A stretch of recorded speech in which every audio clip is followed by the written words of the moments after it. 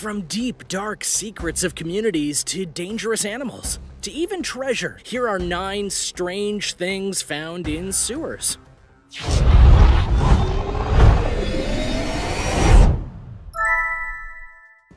Number 9. Dinosaur Bones.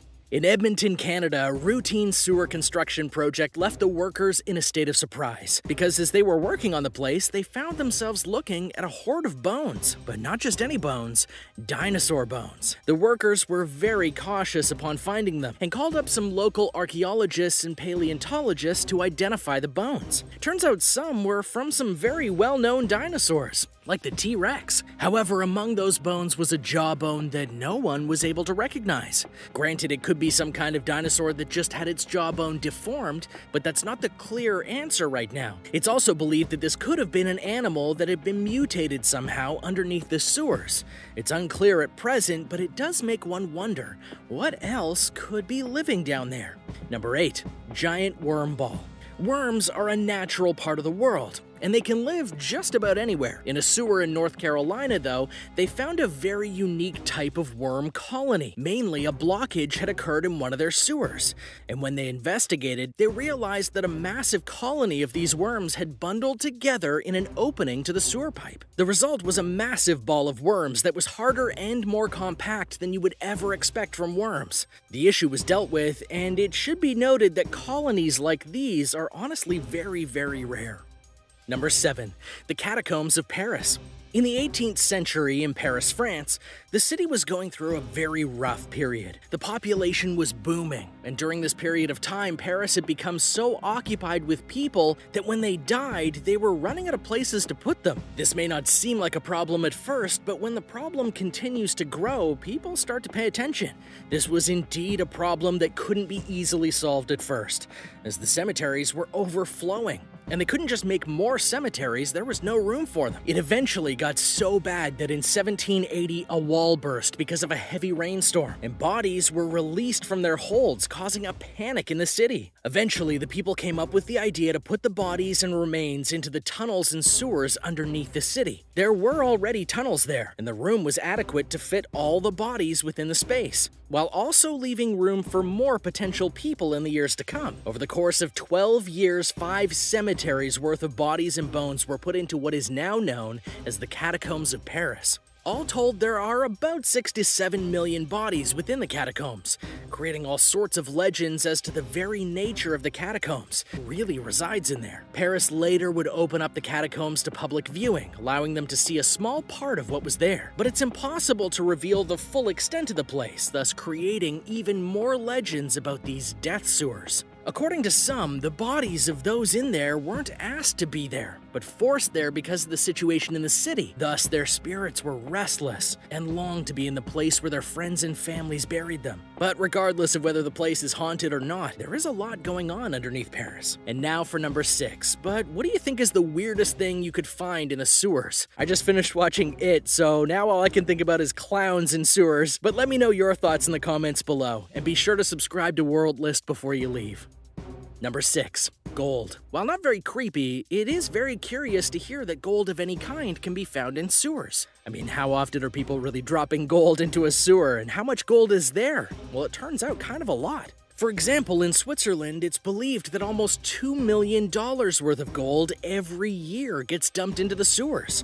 So, how is that even possible? Why aren't people more careful with their gold? Well, it's simple. They have gold refinement plants, and these plants apparently release fine particles of gold into the sewers below via their refinement processes. So, if you felt inclined to sift through the sludge, you'd technically find all sorts of gold. If you're curious as to why the Swiss wouldn't go after the gold they've lost, they believe it would not be economically worthwhile to try and fish it out. Now, should you think this is only happening in Switzerland? Well, you'd be wrong. This is also happening in countries like the United States and Japan, though in lesser quantities. In an incinerator joint in Japan, they would find about 2 pounds of gold for every 1,200 pounds of ash. What might be creepily strange about all this is the prospect that some people might want to wade through the sewers to try and get the gold for themselves. I don't really recommend it.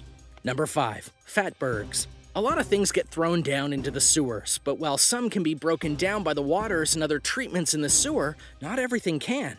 And when some of these non biodegradable items come together, they make what's known as fatbergs. Yes, this is a real word and a real term, and it's a big problem in various parts of the world. You see, the fatbergs are comprised mostly of things like cooking grease and oil that gets dumped down the drain and then into the sewers. And then it attaches itself to other things that don't break down, like baby wipes, for example. This creates a mass of an object one that can grow in size the more it collects stuff down there. At times, these fatbergs can get so big that they can block sewer systems completely on a rather large scale. One such case came in London, England, when a fatberg blocked a whole sewer system. When they went down to examine it, it was 15 tons and the size of a double decker bus. That is gross. It's not easy to prevent, but engineers are working on preventing these fatbergs from collecting in the future. Number 4. Livestock.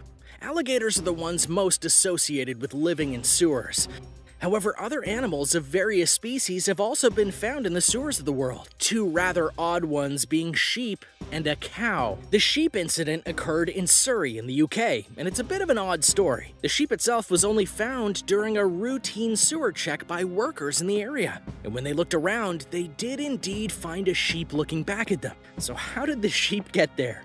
Well, no one knows exactly, and it took a while to get the sheep out because of the skittish nature of the creature. Still, the sheep was caught and released back into the surface. As for the cow, this happened in Fujian province, China. A cow had gone missing for about four days and no one could find it. Then the sound of mooing came from a place no one expected under a manhole. Upon opening it, they found a cow looking back at them. Like the sheep before it, the people were able to rescue the cow. But also, like the sheep, no one is exactly sure how the creature made it down there in the first place. Number 3. Communities. When you think of a home, one of the last things you likely think of is a sewer.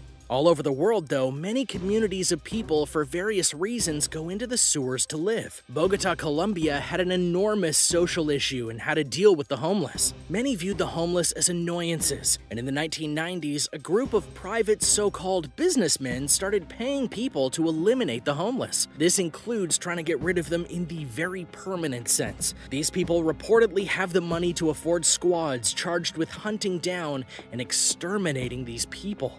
When the homeless started to disappear, many fled to the sewers and tried to make lives down there. Both the squads and the businessmen weren't amused or deterred. They would use dirty tactics to make the sewers as much a death trap as being on the surface was. In one incident, they actually poured gallons of gasoline into the sewers and then lit it on fire. When they saw how effective it was, they just kept doing it. Hundreds every year are killed because of these squads, and all because they're homeless. Just as bad, Bogota isn't the only place in the world you'll find communities in the sewers. You'll find them all over the world today.